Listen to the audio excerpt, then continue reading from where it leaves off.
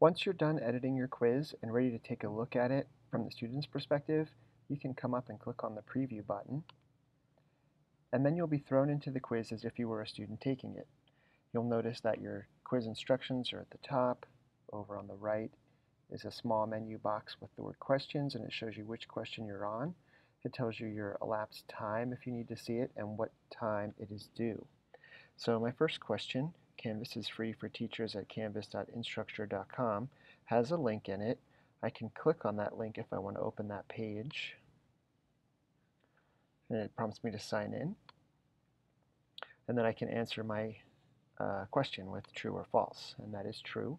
So I'll click Next. Now on question two, it's a multiple choice. It's also worth one point. What company invented Canvas? We know the correct answer is Instructure, but I'll put Yahoo just to show you what it looks like when you get it wrong.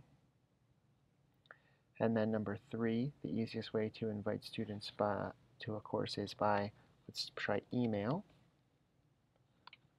Fill in the blank, type in my answer, click next. Another fill in the blank question four is an essay question. Share one way you will use Canvas in your online class. So I type in my answer. I've got my WYSIWYG editor if I want to add any pictures or video. Um, I have one more question left, as you can see. Now I'm on to question five.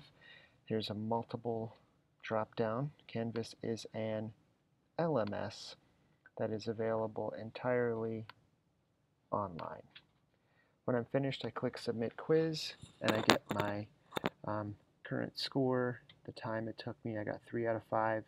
Notice that there's an asterisk because some questions still need to be graded. So I can preview the quiz again. I can keep editing. And if I go to SpeedGrader, you'll notice that there are no active students. So the quiz that I just took did not go into SpeedGrader. It was only a preview.